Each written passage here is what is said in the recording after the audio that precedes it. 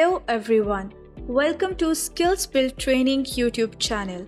I am Sanya and this channel is all about showing you how to become an IT pro fast. So, in today's video, we will discuss about 30 really useful Mac keyboard shortcuts you should be using.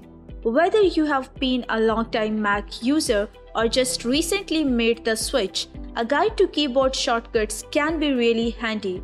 The first keyboard shortcut I am going to share with you is open the Spotlight search tool. You need to press Command plus spacebar. This is absolutely the most useful shortcut of all.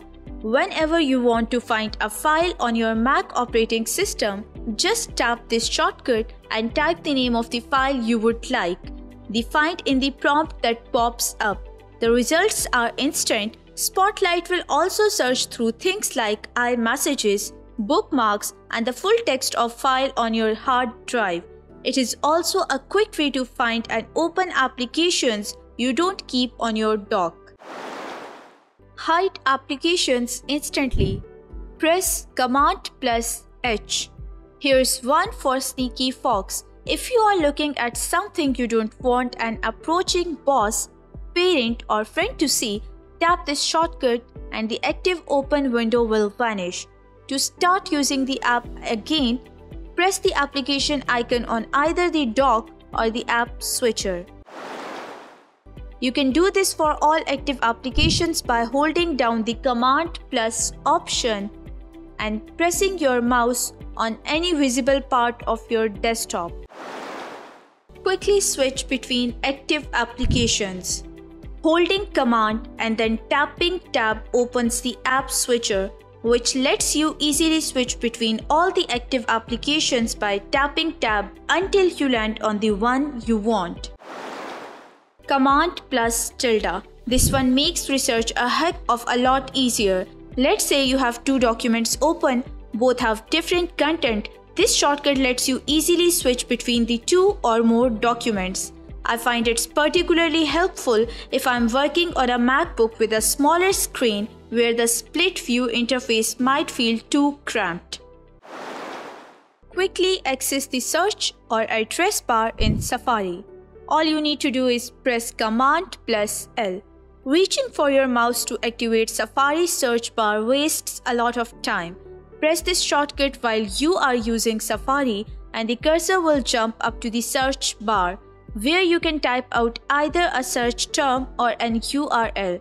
This shortcut also works with Google Chrome. Safari has some other great keyboard shortcuts too. Command plus T to open a new tab and Command plus C the last tab you closed. Use Quick Look to preview files. All you need to do is press click plus space bar. If you want to see what a file looks like but you don't want to waste time opening the associated application, select the file in a Finder folder and then press the space bar. This also works with files on the desktop. A full page preview will pop up and with markup options too. This works for everything from images and PDFs to Microsoft Excel files. You can also select multiple files to preview at once by holding down the command key as you select them and then pressing command plus Y. Once that window is open, you can navigate between the files with the arrow keys on the upper left. Delete the files or folders. Windows keyboards have a backspace key and a delete key. On a Mac keyboard, you get only a backspace key. You can delete a file using command plus backspace key. Option click to toggle do not disturb. You likely use do not disturb on your iPhone to silence alert during certain times of your day or night. Macs also feature a do not disturb mode which you can schedule during certain hours via system preferences notifications or manually activate via the notification center. Do not disturb is oddly hidden in notification center. You need to click the notification center icon in the upper right corner of your Mac operating system and then scroll down a bit to reveal the do not disturb toggle switch at the top.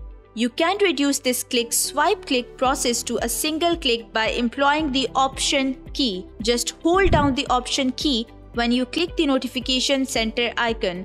When the icon is grayed out, do not disturb is on. When the icon is black, do not disturb is off. Option click the Apple button. On the other side of the menu bar in the upper left corner of your Mac operating system, sits the Apple icon. Its menu lets you restart or shut down your Mac and view system information. If you press the Option key when the menu is visible, you will notice the dots disappear from Restart, Shutdown, and Logout commands. No dot means the confirmation step is removed, so you can perform any of three commands in one simple step. The other change you will see when you hold down the Option button here is the About this Mac changes to the system information. When you click About this Mac, you open a small window that shows an overview of your system. It also features a button labeled System Report that opens a second window with more detailed information about your hardware and software and network. With the Option key held down, the System Information menu item lets you bypass the overview page about your Mac and go directly to the system report. In order to open preferences, all you need to do is Command, comma. This is one of the least known keyboard commands on a Mac operating system, but it is super useful. It works like this. You are working in an application and you want to open the application's preferences. You can navigate to the menu bar if you like and scroll through to access the preferences or you can simply press command comma to get to them in the fastest possible time. Press command M to minimize the front application window to dock or press command option M to minimize all the windows belonging to the front application. Access folders in Finder. You need to select Command Shift A in Finder desktop view to get to your applications folder. Replace A with U to open your utilities folder in a new Finder window. Now replace U with D for desktop. Replace with H for home and replace with I to access iCloud Drive. Jump directly to the top or bottom of a web page. You can jump directly to the top and bottom of the web page using the function key and the right arrow to the bottom of the page or left to the top of the page arrows on the keyboard. You can achieve a similar result using command up or command down. A third way is to use Control Tab and Control Shift Tab.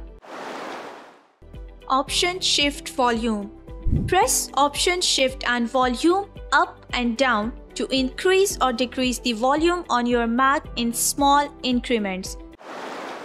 You can also use Option Shift to change display brightness in small amounts. Control Command Space. Want to insert emoji or other symbols into what you write? Use Control Command Space to open the character viewer where you can select and use such symbols. A useful shortcut to add emoticons to any text box of any application. Pressing this combination will pop open an emoji selector complete with categories and a search box to quickly find your emoji of choice by typing its description. Force quit application. In the event an application freezes or hangs, you may want to try this. Tap Option Command Escape to force quit the application. It is not always a magic bullet, but sometimes an application restart is all you need to get your system moving again. Launch dictation on your Mac OS. Press the function key twice to launch dictation on your Mac operating system. Start speaking and press function once you have finished. Mac operating system now offers the far more powerful voice control which lets you manage everything on your Mac operating system using only your voice. Dictionary You will find that in most Mac operating system, if you are unsure of the meaning of any word, you can hold down Command plus Control plus T while hovering the cursor over it. This will then handily bring up the dictionary definition of the word and give you the meanings. Empty trash quickly. You can easily empty your trash by simply pressing Command plus Shift plus Option plus Delete the trash while skipping the confirmation window. Switch between folders. By pressing Command and the left bracket, you can move to the previous folder while by pressing Command and the right bracket, you can move to the next folder. It is too easy to navigate your desired folder by simply pressing the Command and bracket. Find all misspelled words. Use Command plus semicolon shortcut to find all the misspelled words in a given document. By holding command and continuously hitting the semicolon, it will cycle through the misspelled words. Modify this as command plus colon to open the spelling and grammar window. Lock your computer screen temporarily. When you need to quickly leave your computer, use Command plus Control plus Q shortcut it will lock your computer screen and require a password to unlock it again without logging you out or exiting anything you are currently working on. Quickly quit all open applications. If you need to quickly quit all open applications, use Control plus Option plus Command and Power button. It will help you out in a pinch. Upon pressing this combination, all applications will be closed, any with unsaved changes will be prompted to save and then the Mac will shut down. Duplicate a file. If you need to quickly make a duplicate of a file in Finder, hold the Option key while dragging the file to a new location. The original file will stay, but a new copy will be dragged out and placed when you let go of the cursor. As you can probably imagine, we use these shortcuts a lot here at Macworld. There are actually several ways you can take a screenshot on Mac operating system. Command plus Shift plus 3. Screenshot the entire visible window. If you can see it on your Mac screen, it will show up in the screenshot. Command plus Shift plus 4. Screenshot a specific area of the screen with the help of a rectangular cropping tool. This is the one I use the most and it is also great for sharing images or snippets of text on social media. Command plus Shift plus 5 Beginning with Mac operating system Mojave, Apple made it easy to see all the screenshot tools at once with this shortcut. Press it and you will see a toolbar that gives you option for capturing screen, capturing a specific window or capturing a specific portion of a window. You can also use it to record either the entire screen or a portion of it and choose where to save the image or video file. By default, screenshot save to the desktop. Open iCloud Drive. Quickly access the files stored in your iCloud Drive by pressing Command plus Shift plus I.